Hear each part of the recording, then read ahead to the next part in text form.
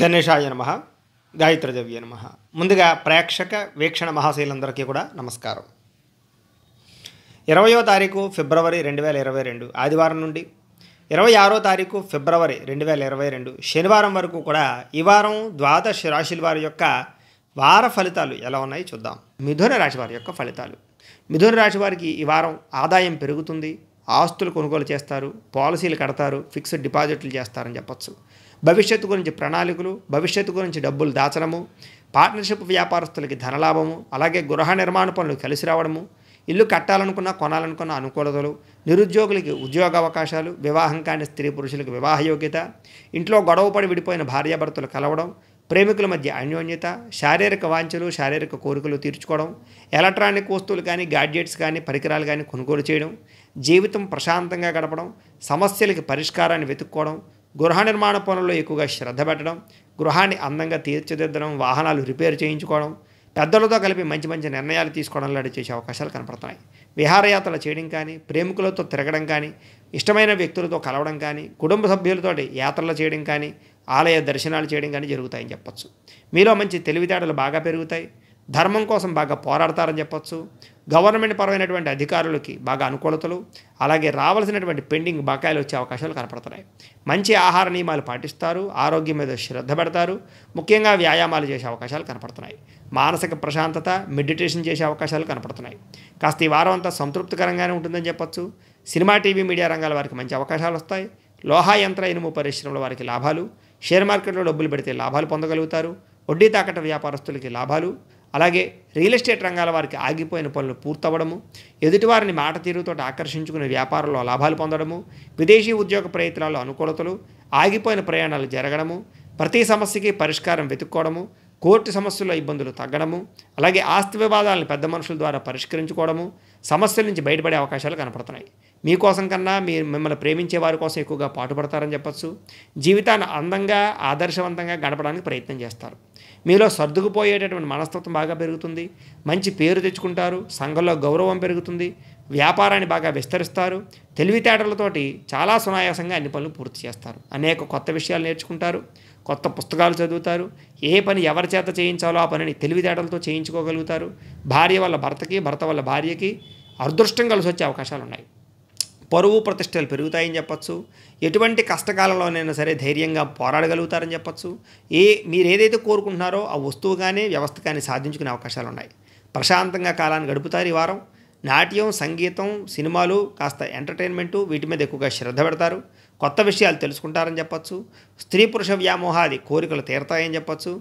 రాజకీయ నాయకులకి మంచి పదవులు వచ్చే అవకాశాలు ఉన్నాయి వ్యవసాయదారులకి మంచి లాభాలు వచ్చే అవకాశాలు ఉన్నాయి అందరూ మిమ్మల్ని గుర్తిస్తారని చెప్పొచ్చు పోగొడతారని చెప్పొచ్చు. విద్యార్థులు పోటీ పరీక్షల్లో ముందడుగు వేస్తారు మంచి ర్యాంకులు సంపాదిస్తారు. అలాగే ఉద్యోగ వ్యవహారాల్లో కానీ లేదా నూతన ఉద్యోగ వ్యవహారాల్లో కానీ అనుకూడతలు అలాగే విద్యార్థులు బాగా తల్లిదండ్రులకి పేరు తెచ్చే పనులు చేస్తారని చెప్పొచ్చు. కాలేజీకి కూడా మంచి పేర్లు తెచ్చే ప్రయత్నాలు చేస్తారు. అలాగే స్త్రీలందరికీ చాలా అనుకూలంగా కనపడుతోంది. ఉద్యోగస్తులకి ఉద్యోగాల్లో బదిలీలు కానీ ఇంక్రిమెంట్లు కానీ కనపడుతున్నాయి. స్త్రీలకి భర్త పట్ల ప్రేమ పెరుగుతుంది. అలాగే షాపింగ్ మాల్స్ పట్ల వెళ్ళడం కానీ లేదా ఇష్టమైనటువంటి వాహ వస్తువులు కొనుగోలు చేయడం కానీ లేదా బట్టలు కొనుగోలు చేయడం కానీ చేసే అవకాశాలు ఇంట్లో ఉండే సమస్యలు తొగ్గముఖం పట్టే అవకాశాలు ప్రేమించిన వ్యక్తితో కలిసే అవకాశాలు కనపడుతున్నాయి. శారీరక కోరికలు తీరతాయని చెప్పచ్చు. అన్ని రంగాల వారికి కూడా వ్యాపారస్తులకి కూడా మిక్కిలి లాభాలు కనపడుతున్నాయని చెప్పచ్చు. గృహ నిర్మాణ వస్తువులు అమ్మేటటువంటి వారికి అలాగే ఆటోమొబైల్ రంగాల వారికి సుగంధ ద్రవ్యాలు అమ్మేటటువంటి వారికి కిరాణా వ్యాపారస్తులకి ఫుడ్ బిజినెస్ చేసేటటువంటి వారికి మిగిలిన అన్ని రకాల పరిశ్రమల వారికి కూడా విపరీతమైనటువంటి లాభాలు ఆర్థిక పరిపుష్టి నష్టాలు పరిపూర్తి నష్టాలు అన్నీ కూడా భర్తీ అయ్యే అవకాశాలు కనపడుతున్నాయని చెప్పొచ్చు.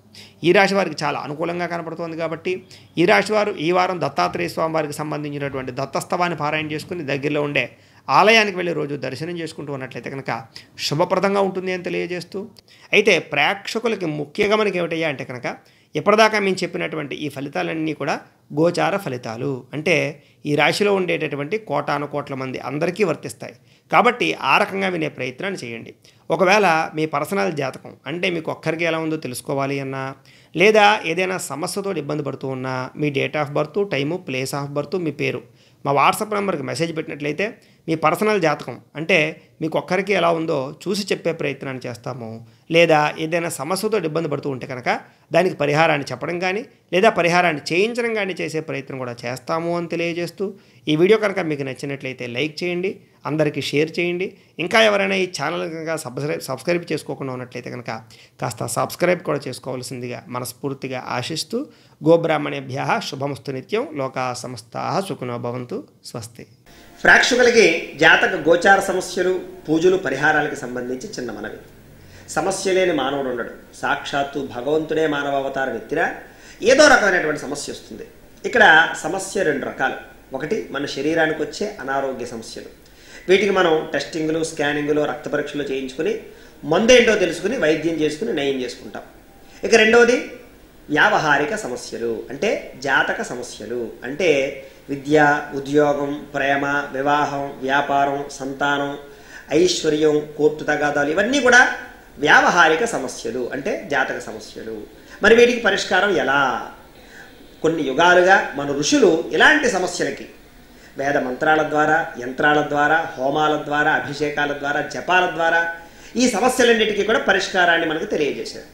వీటిని అనుసరిస్తూ మేము కూడా ఆంధ్రప్రదేశ్ తూర్పుగోదావరి జిల్లా రాయవరం మండలం తులియ భాగానదీ తీరంలో వేయించేసి ఉన్నటువంటి వెదురుపాక గ్రామంలో కంచి జయేంద్ర విజయేంద్ర సరస్వతి స్వాములు వారు ప్రతిష్ఠించినటువంటి గాయత్రి పీఠంలో వేద పండితుల యొక్క సహకారంతో ఇలాంటి సమస్యలన్నిటికీ కూడా మేము కూడా ఈ యొక్క జపాలని మండపారాధనలు అలాగే తర్పణాలు అభిషేకాలు హోమాలు పారాయణలు ఇలాంటి కార్యక్రమాలన్నీ చేసి ఈ సమస్యలన్నిటికీ కూడా పరిష్కారాలను చేయిస్తూ ఉంటాం.